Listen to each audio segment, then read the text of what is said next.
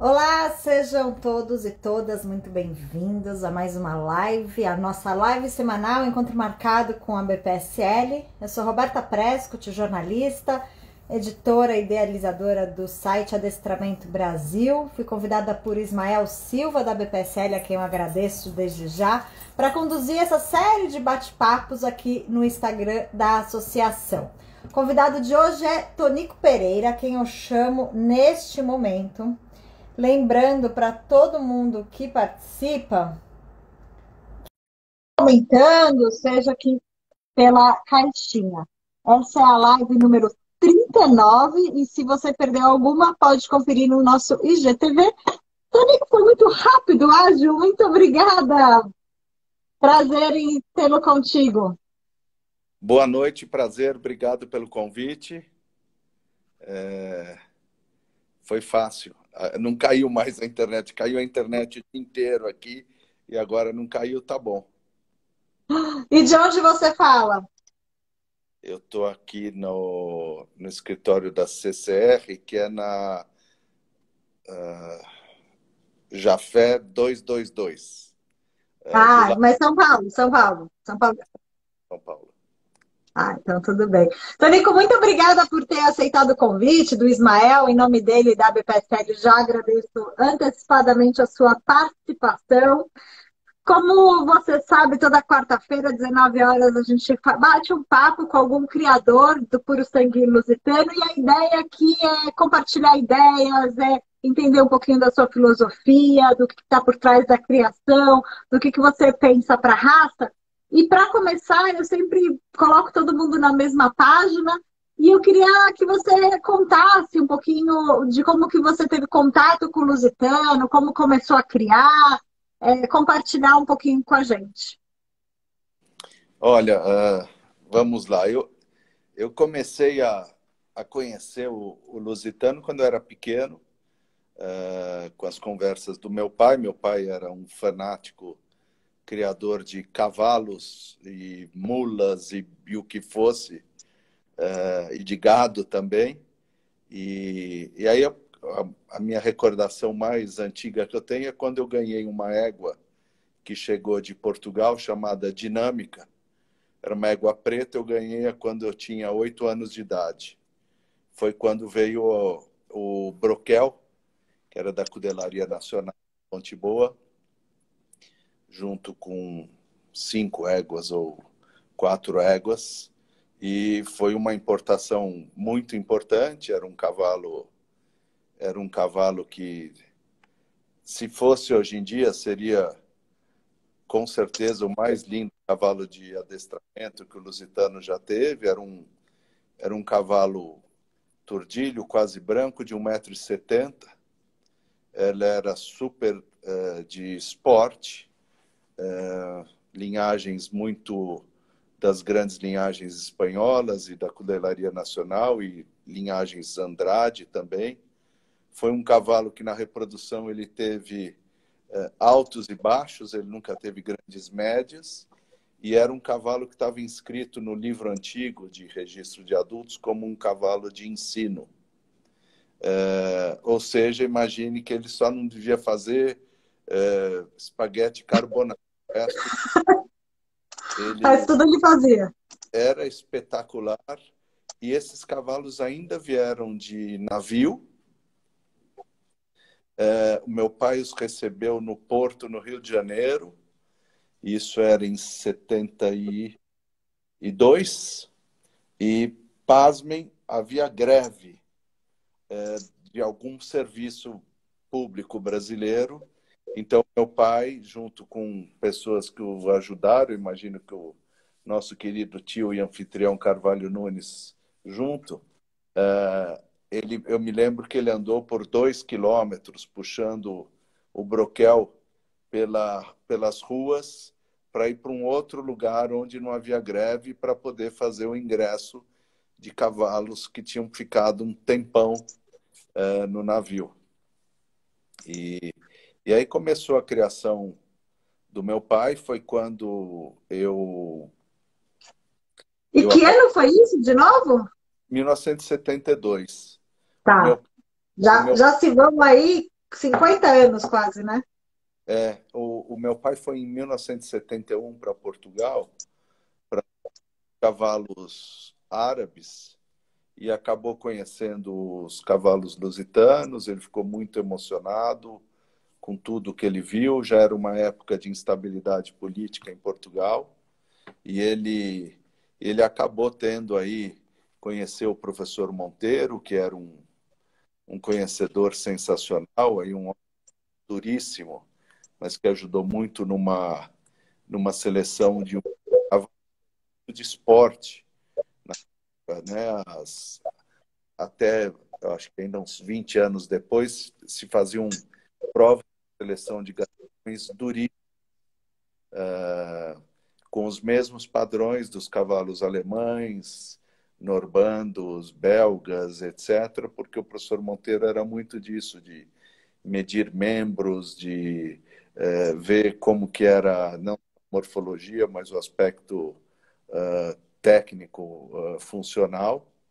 E então foi o começo foi isso. E a dinâmica era uma égua absolutamente espetacular. É, meu pai também fazia muito isso. Ele dava os bichos, mas era para ele. Né? Dava para o filho, era dele. E então a dinâmica, eu me lembro que era uma égua numa época em que as pontuações flutuaram muito ao longo do tempo, né? Como isso sempre foi subjetivo, teve épocas mais bondosas, épocas mais é, mais assim agudas e ela veio numa época onde era tudo muito rígido e era uma égua de 80 pontos. Era uma égua absolutamente. Uma super pontuação, então, né? É, foi espetacular, porque esse começo todo da associação, né? E, e eu também aqui paro para fazer uma homenagem para o meu querido pai, Paulo Gavião Gonzalez, está nos escutando em alguma dimensão aí, é, junto com o Cecília, que graças a Deus está aqui, e outros. É, mas esse, alguns desses animais que vieram nessas primeiras levas, né, com meu pai, com o Dr. Paulo, com os precursores, também, óbvio, Dr. Enio, Mireles, Abel, Pinho Maia, até o Rolim, pessoal de Recife, uh, Dona Regina Seu Mário Tavares, querido Arnaldo Gank, todo mundo trouxeram sangues uh, muito importantes e sangues que não que não estavam tão na moda, uh, mas eram sangues muito consistentes, muito de cavalos e éguas uh, muito importantes que, que vieram sangues que hoje fazem muita falta, é, mas que, graças a Deus, quando a gente vê cavalos aí, como o Escorial, com o João Vitor e, e outros cavalos fazendo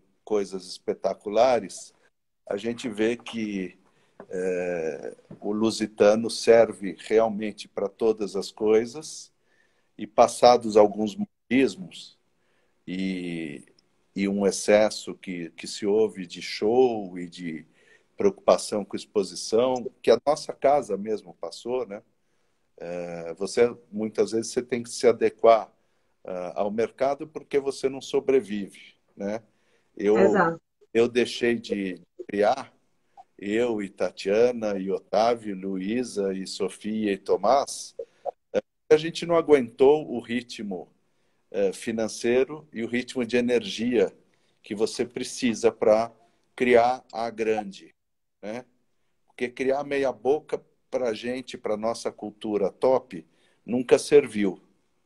A gente nunca vai, a gente nunca vai conseguir encarar fazer uma coisa nota 7. Ou é para ser nota 9, ou então a gente vai torcer para caramba por um monte de gente. Então eu quando vejo o João Vitor, uh, o Escorial, eu estou ali junto, em algum lugar, olhando e pensando junto. Quando eu vejo Interagro e vejo Volga e vejo Luizinho e vejo todo mundo, eu falo, nossa senhora, vamos torcer muito. É, e é para ser nota 9, não adianta. Não... eu não admito e eu nunca fui criado para admitir Brasil tomando 7 a 1 da Alemanha, sabe?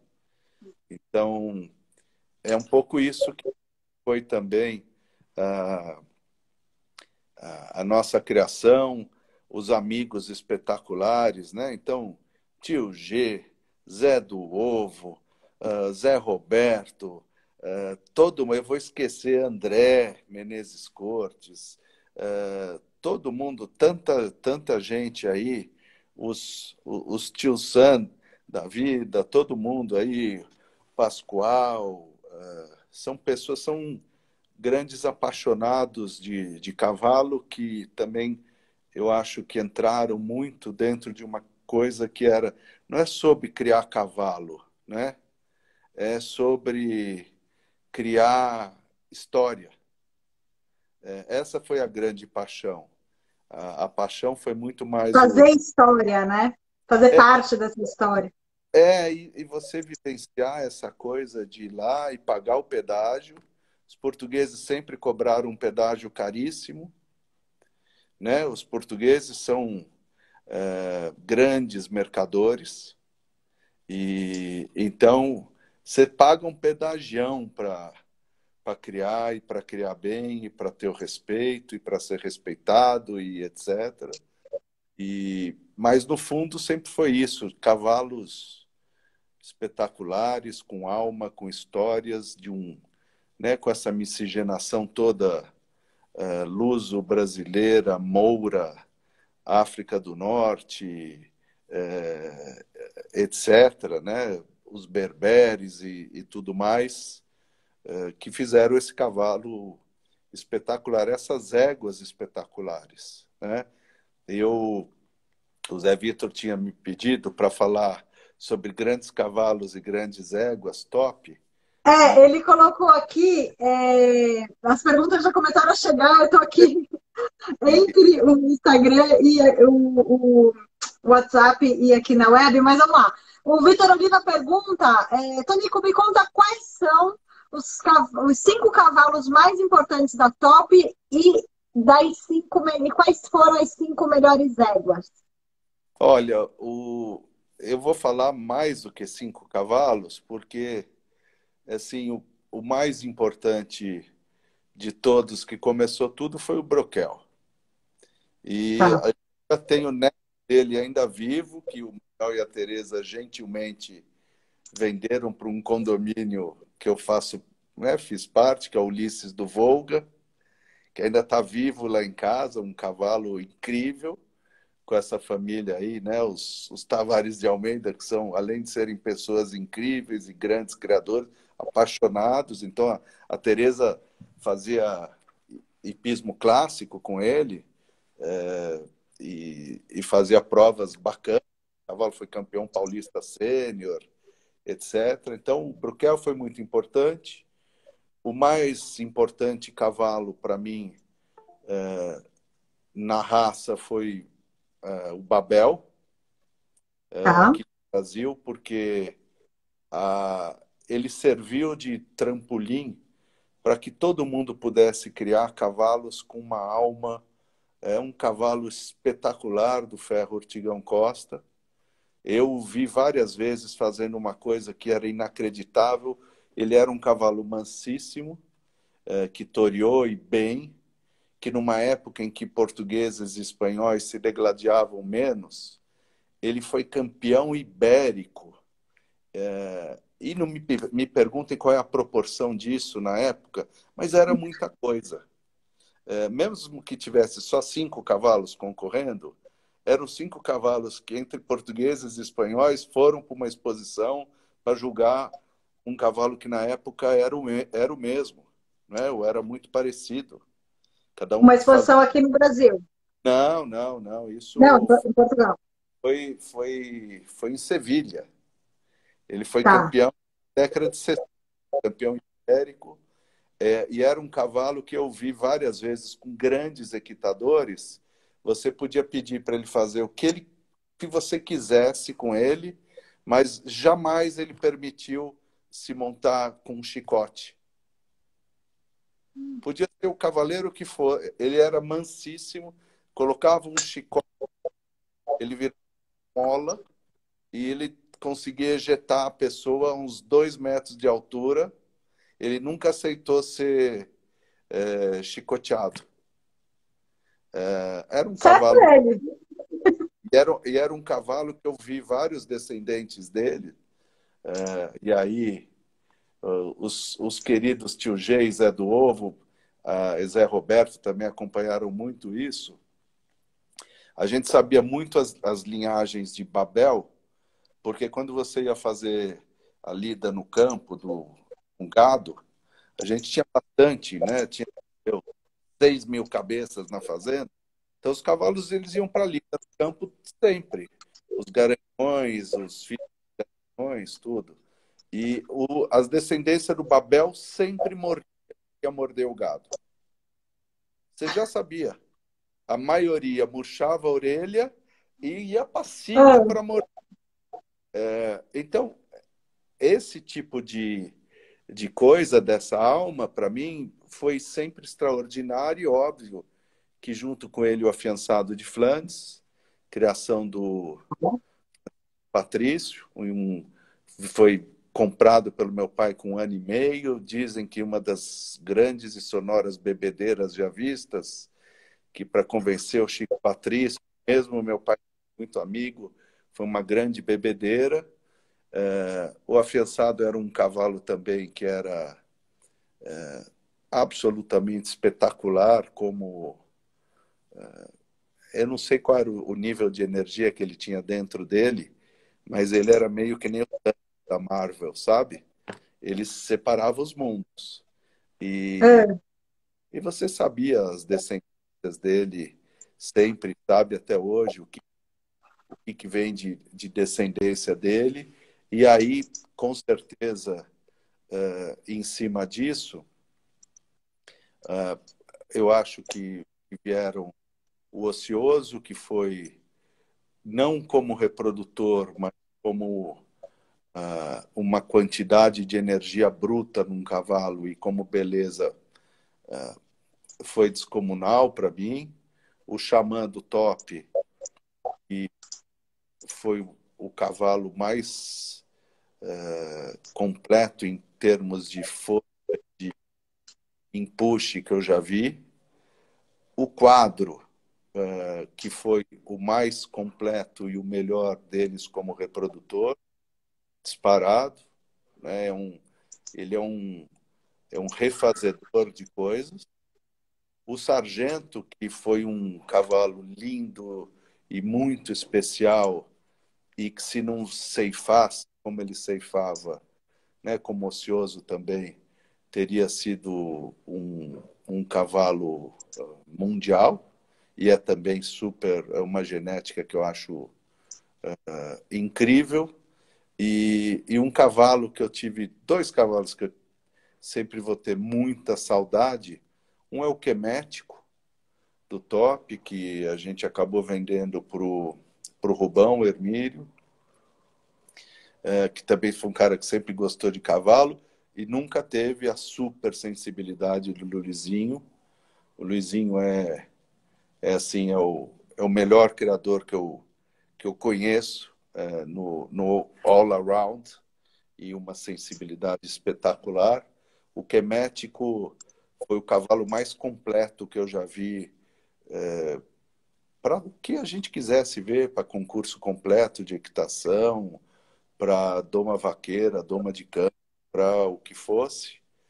E, e por fim, é, eu nunca vou conseguir esquecer o Navarro, é, que era um, é um cavalo dos irmãos Resina, com olhos de fogo, um cavalo com nítida influência boa de cavalo árabe, nítida influência, né? E eu me lembro quando eu abri a, a, a baia, quando ele chegou no aeroporto, ele era exatamente o que tinham me falado, era um cavalo de guerra. E o cavalo era é. pequeno, incrível, eu me lembro uma das últimas exposições divertidíssimas que, que eu tive na, na época de Amaro, e eu estava é, com ele e o, o Dr. Paulo, com o Carvalho Nunes na trelagem e o, o Navarro cismou de querer morder a trelagem. É. Era sensacional, que cavalo espetacular, que e a, a descendência do Navarro, né? Eu, eu se pudesse hoje fazer alguma alquimia com as coisas todas, é, então com grandes sangues interagro e Volga e Ilha Verde, e Luizinho, etc., eu ia fazer grandes composições, a Simone Novak também, claro, Fischer, né, grandes criadores. Eu iria fazer uma composição muito em cima de, do quadro com o Navarro, porque a hora que acertar alguma coisa vai ser, sei um, um, um motor V10 transformado em elétrico, sabe? Uhum. É, vai poder ir para a COP26, ao mesmo tempo que vai poder andar em, em Interlagos, vai poder fazer o que for. É, então, realmente um, uh, um cavalo espetacular, o Navarro. E as éguas? Uh, falando das éguas,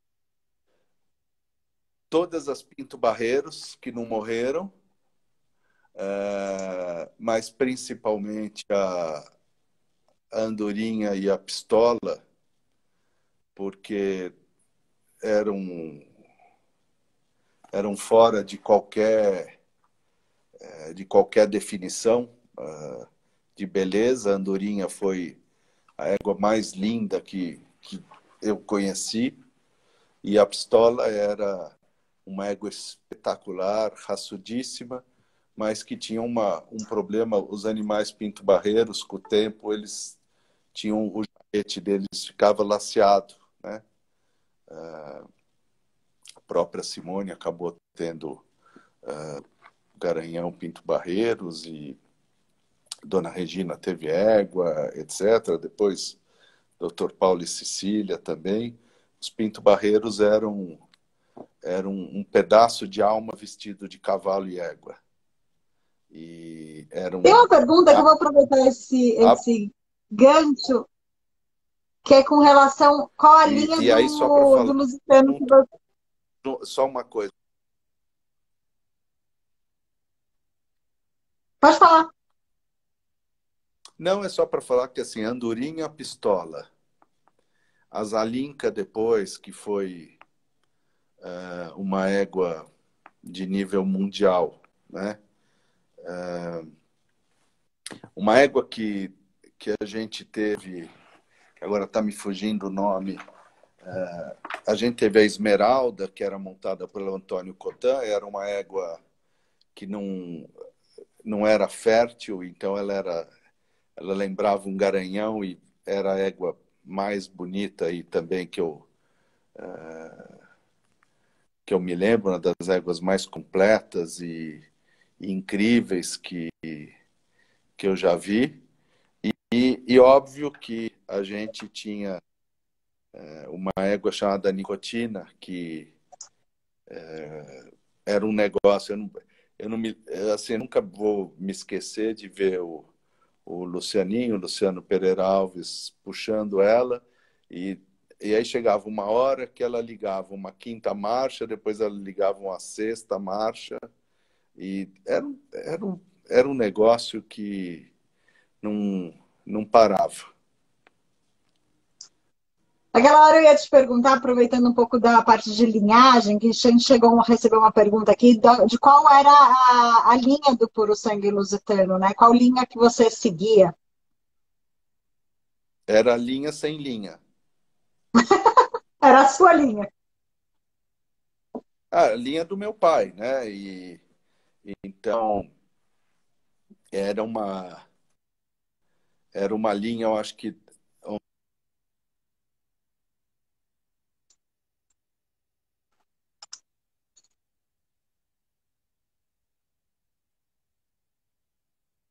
como também a escala era muito grande e a sensibilidade do meu pai ainda maior, é, isso acabou permitindo que ele chegasse é, mais rapidamente numa, numa, numa linhagem top.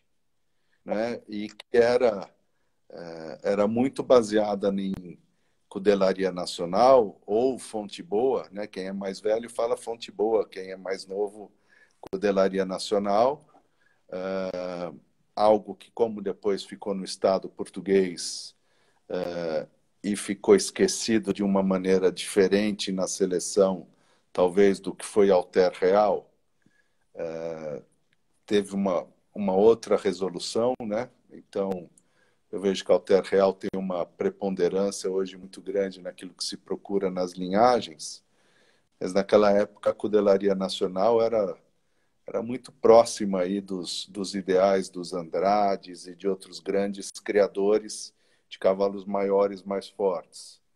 É, você nunca vai conseguir ter nada sem ter isso, mas nunca vai conseguir ter nada sem ter sangue Veiga, né?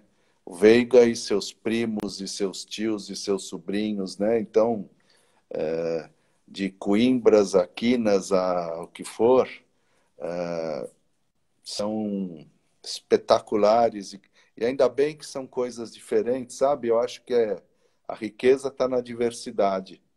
O, o lusitano deveria ser entendido por essa diversidade. Né?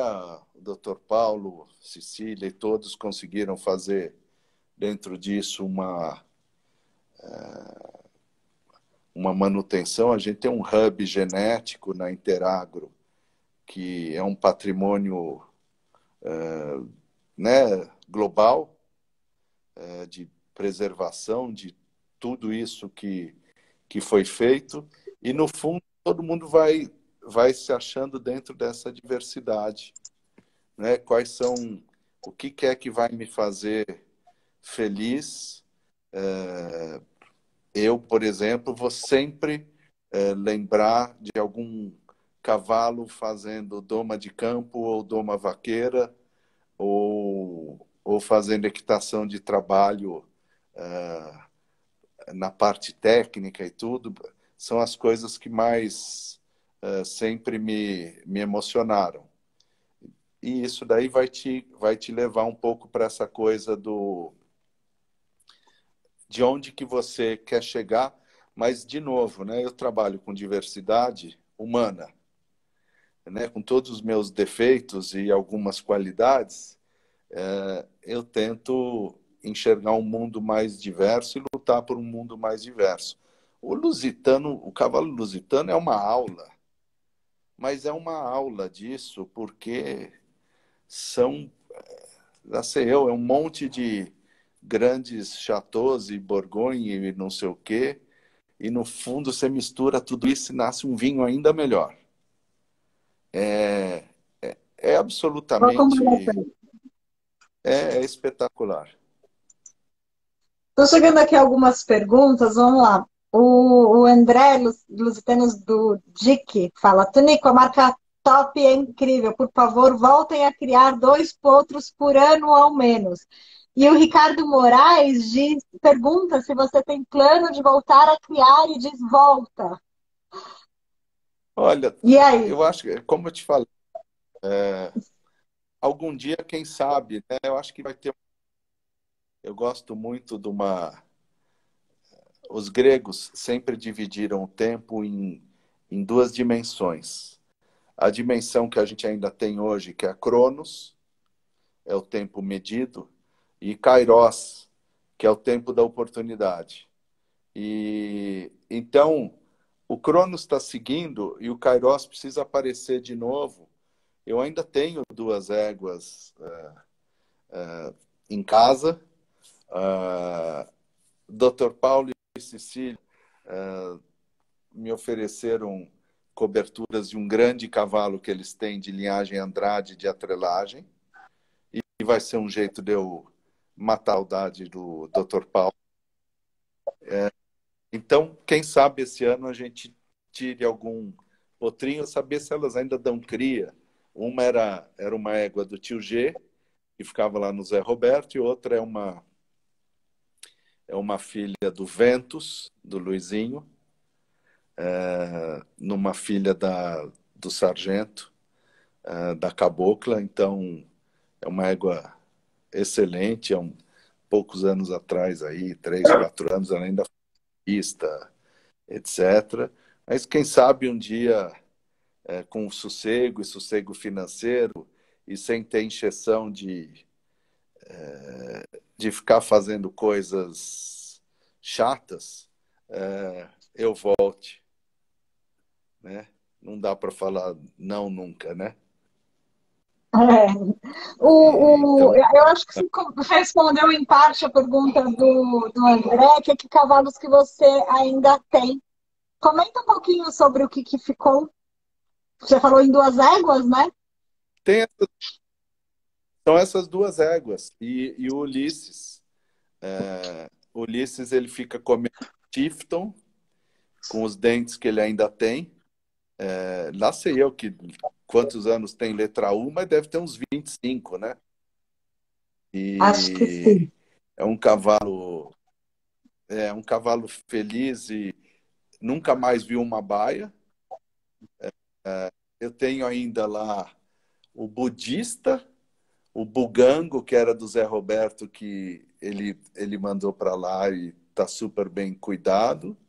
Um cavalo que eu, que eu ganhei é, de Portugal, que é o crânio, e que infelizmente ele não foi um, um, grande cavalo de equitação, era um filho do Campino, mas era um cavalo com um temperamento muito. não era um temperamento para equitação, então eles moram no pasto, três são é, felicíssimos. Esses estão na braquiária agora, porque nesse final de seca tiveram que entrar numa braquiária. E, e tem essas éguas. Ainda tem uma égua do. É, tem uma égua chamada Geografia, é, que é do Pascoal Fineto, que eu tomo conta e tomarei conta dela até ela morrer. E tem uma égua velha chamada Saudade, que ela vai pro Guinness. De, eu nunca vi, porque toda vez que eu acho que ela vai morrer, ela dá uma engordada. É, mas então são as duas são as duas éguas uh, que a gente tem. A égua do G, é, eu preciso lembrar qual é o nome dela, mas ela é, é descendente da Oceania. E é uma guaça, quadro e Oceania. E a outra que é a filha do Ventus com a cabocla. É, são as duas éguas que eu, que eu tenho. Mas sempre vai ter um, um sangue top por aí em algum lugar. Sempre vai ter. Foi muito mencionado aqui em todas as lives. Preciso comentar, não sei se você tem acompanhado aqui nossas lives às quartas-feiras, mas o top está, vamos dizer, no topo das menções.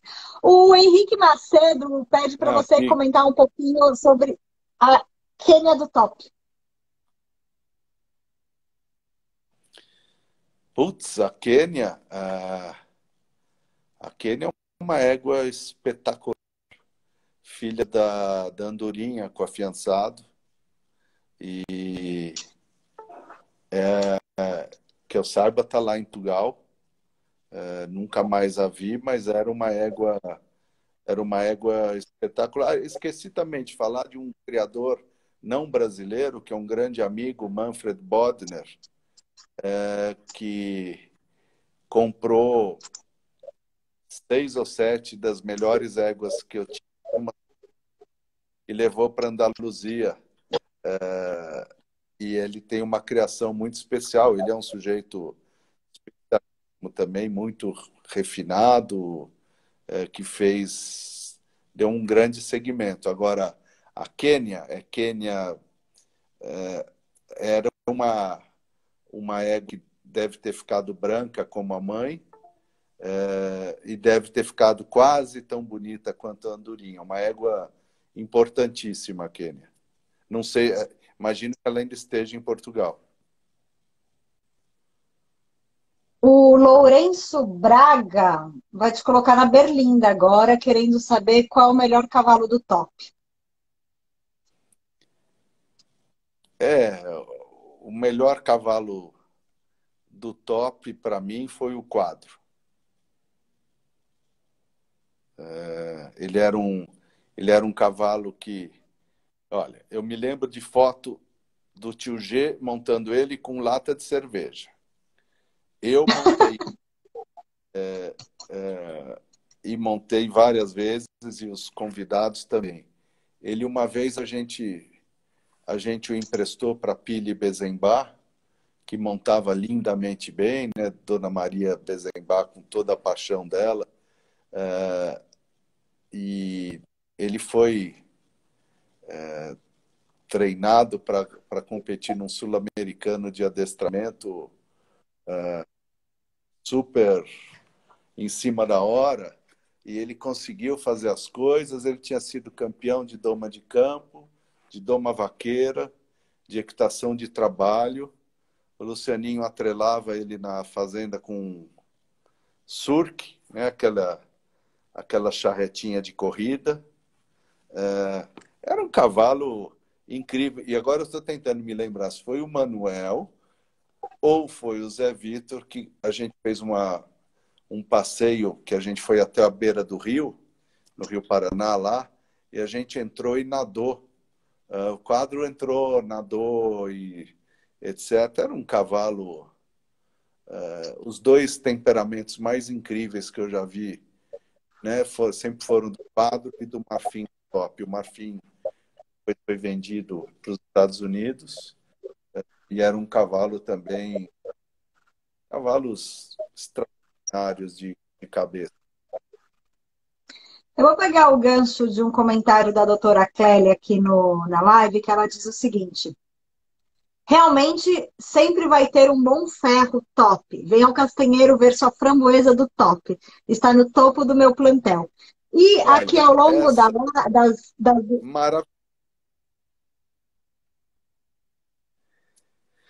Ah, a doutora Clélia é nossa prim... primeiríssima dama, aí junto com, com Cecília, e é muito difícil segurar essa, essa onda e esse é, todo esse peso e dimensão né, que elas seguram aí. Uh, a doutora Clélia uh, também tem animais espetaculares e desde a época do doutor e muita paixão e muita ajuda aí ao Lusitano. É, eu me lembro perfeitamente da, da framboesa e espero que em breve eu e Tatiana, filhos, possamos ir lá é, com o motorista, porque assim eu posso beber, que a doutora Clélia, além de tudo, recebe lindamente. A Cecília também, mas lá da doutora Clélia, é, eu tenho que ir com o motorista com certeza. E eu vou ver a mesa assim. Eu li o um comentário dela que eu gostaria de. Em todas as lives aqui, o, o top foi muito mencionado, que nem eu, eu, comentei anteriormente. Eu queria que você avaliasse essa importância do Aras para o lusitano no Brasil, né? E ao longo desses anos, como que se deu essa evolução e qual o seu, seu sentimento hoje de olhar para trás e ver tantos cavalos importantes ainda presentes nas criações? Eu vou, eu vou só mudar aqui para não, não atrapalhar um, um colega que chegou. Não. E, é assim, é, a paixão que foi dedicada, a energia e, e a quantidade de tempo, eles acabaram montando o legado. a, a grande importância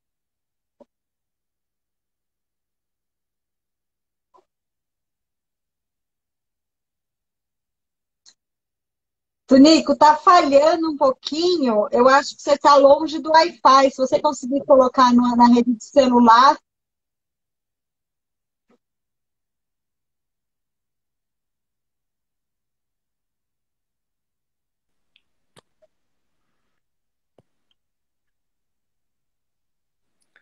Tonico? Tá? Você tem rede é, 4G de celular aí? Porque eu acho que tá longe do Wi-Fi, então tá falhando um pouquinho. Agora estabilizou melhor. Agora acho que tá, deu. É, Eu acho que. Repete só o finzinho que, eu, que a gente perdeu. É, não, eu acho que é, é sobre legado. É, legado é aquilo que você deixa para os outros e como os outros se lembram de você. É, e ele está muito ligado à reputação. Eu, eu, eu, eu aqui na CCR eu sou um dos corresponsáveis por reputação e reputação é como os outros nos percebem. E quando você fala de uma criação, é como os outros não só nos percebem, mas como os outros uh, nos sentem. E é isso, a top é sobre isso, né? É sobre é, você ter esse, esse pensamento e você sentir esses, esses momentos e as boas conversas e um tempo, um, um tempo que sempre aí quando é à beira de cavalo e amigas e amigos, ele é um tempo que ele não tem o, esse aperto do, do tempo físico de hoje em dia, essa coisa da nessa ditadura do algoritmo, a ditadura do like, like, a ditadura de ter que responder o WhatsApp ou ou de estar tá lindo de acordo com alguma estética no Instagram. Uh, e aí você se, você pode se levar para outro momento com os cavalos e com bichos e com natureza e, uh, e com tudo mais. Então, acho que as pessoas se permitem sentir e sempre foi o que na Top a gente quis uh, que as pessoas tivessem isso. Então, talvez o Top também, né? A, a marca top tenha representado essa liberdade de sentir, né, da pessoa uh, se emocionar e da pessoa gostar, independente do que for, porque cavalo é, é uma paixão que dá despesa pra caramba. Uh, Ou se dá. Tem 1%, 5% das pessoas que vão ganhar dinheiro, o resto tem que entender que é uma paixão. Não é como ah, o cara investe em arte e manja pra caramba e vai ganhar dinheiro. O cara investe no seu. Cavalo, uh, uh, por mais, né? Eu não estou falando aí da profissionalização, né? Uh, porque quando você chega nas grandes Amazonas e ginetes, nas grandes criações profissionalizadas, etc. e tal, com certeza é um business. Mas uh, a gente foi caótico sempre. A, a Top, a Top era, ela devia escrever com K. Né? Esse era um bom nome. A gente devia ter um letra C chamado Caos do Top, ou uma caótica do Top. E sempre foi a gente, porque era, era a mistura do meu pai também, com a minha mãe, né, que está viva. O, o, apelido da minha mãe, Helena, que é espetacular, é a Highlander. Ela está indo para os 91 anos de idade é espetacular, é educadíssima, é chiquérrima, é tudo e é brava pra caramba. Pensa numa grega brava. Uh, então, acho que juntava essas coisas todas e eu e minhas irmãs, e meu, o, meu irmão também já está com, com meu pai e com, com o tio Paulo lá no céu, ele é, sempre foi uma bagunça, um caos, conversa sem fim, e discussões irracionais. Essa é uma delícia da top também. E ao longo desses anos todos, né, da criação da top, como o Zé Vitor até colocou aqui que sem a top não haveria lusitanos no, no Brasil, que lembranças que ficam? O que, que te marcou mais? Ah, sempre é, coisas incríveis. Eu estou vendo aí até a Thaís Figueiredo, a minha querida Thaís, é, que está aí eu tenho todas as lembranças, eu não perdi uma. Uh, tanto as coisas boas quanto ruins, a resiliência, a, o poder de tudo. Uh, há, há três anos atrás, eu acho, eu e a Tati, a gente foi convidado para uma viagem lindíssima pelo casal Almeida e pelo casal Oliva e a gente foi para o Marrocos e fez coisas e demos risada e brigamos e fizemos coisas e demos risada e, e vimos coisas lindas e etc. 100% em cima dessa paixão por cavalo, mas da paixão, da paixão por pessoas também, né? Então, é, eu me recordo sempre, eu sempre estou recordando é, das amigas e amigos, é, dos colaboradores espetaculares, dos momentos. É, na minha cabeça é tudo bem quântico, sabe? É, e eu consigo olhar eu consigo lembrar os olhares dos cavalos e os jeitos e, os, e as coisas até agora, não muda. Vai continuar comigo e na dimensão que eu tiver. E como que você vê a evolução, não a evolução, vai, mas a, a mudança, né, e, e do papel ou da aplicação do uso do lusitano ao longo destas décadas? Hoje, todas as lives, todas não, mas a maioria das lives que nós fizemos aqui às quartas-feiras, um foco muito forte em adestramento, essa conquista do lusitano no adestramento mundial, mas com os criadores, sim, lembrando dessa versalidade, é, dessa característica multifacetária do cavalo. Como que você avalia o, o lusitano né, ao longo dessas, desses anos todos? É, eu, eu não sou um saudosista, porque eu acho que a evolução ela é permanente. E, e deve ter sido assim desde lá dos, dos monges é, né, na Península Ibérica, em todo o mundo, ao pessoal que fugiu da Revolução dos Cravos, a quem, a quem lutou tanto e que luta uh, aqui até hoje. Então, eu acho que só tem evolução né, uma evolução gigante.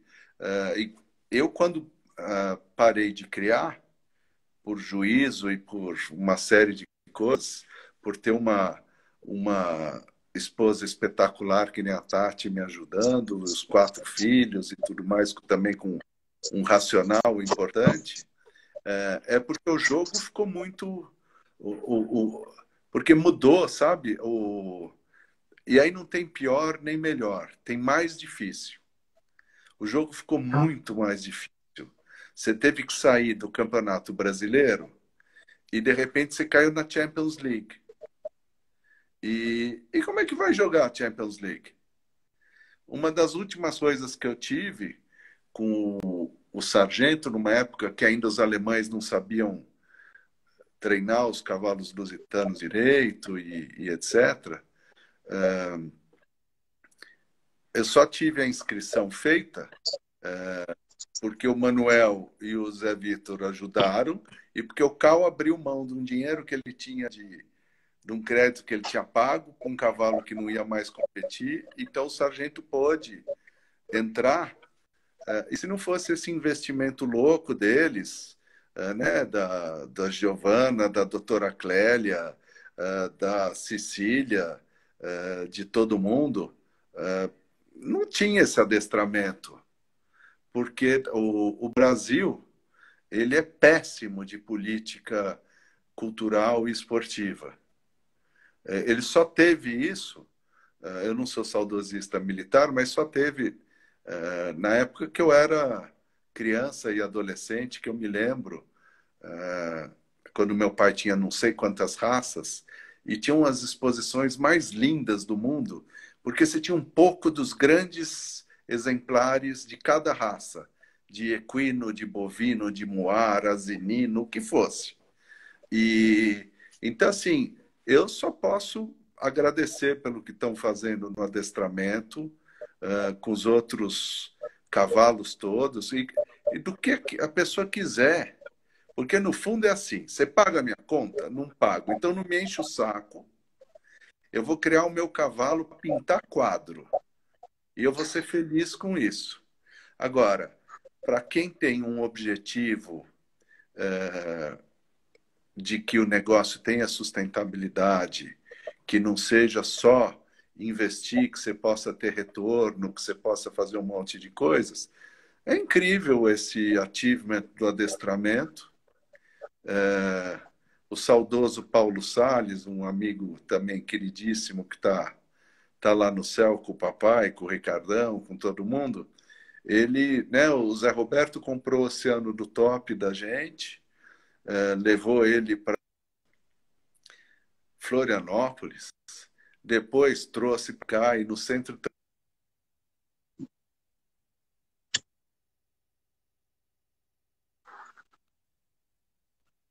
um monte e coisas, sargento e tal, mas a evolução que, que esses criadores né, é, conseguiram com o Lusitano, essa, essa, o Escorial, ele representa todos nós. O João Vitor representa todos nós. A, a, a Martinha, os, os Almeidas, as Almeidas, uh, eles representam todos nós, né? Os, os equitadores, amazonas, todo mundo, né? Então, uh, a gente tem que se sentir representado, orgulhoso.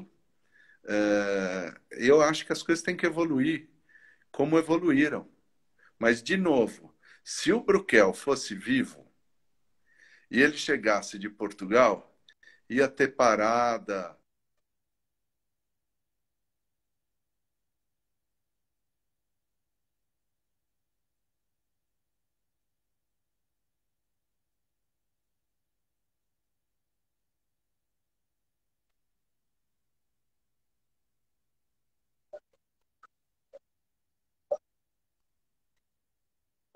Sei eu, era um grande cavalo.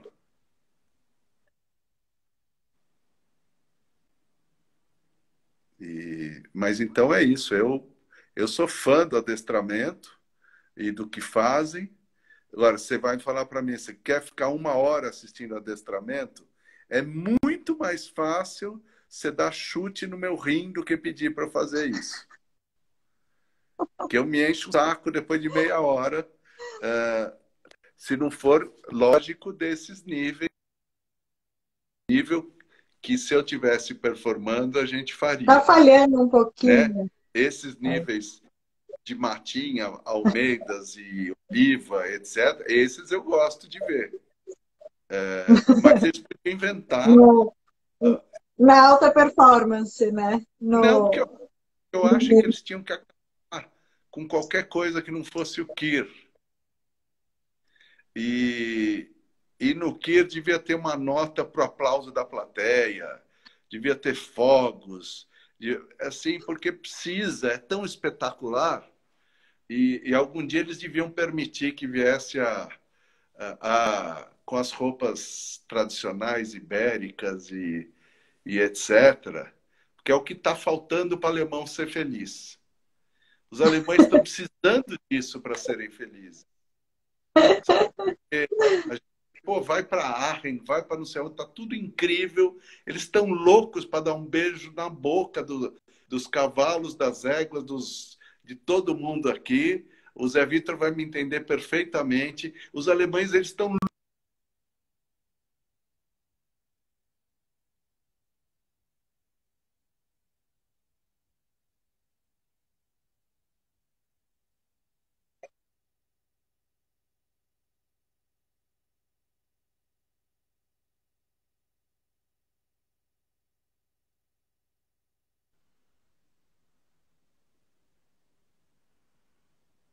Está falhando um pouquinho.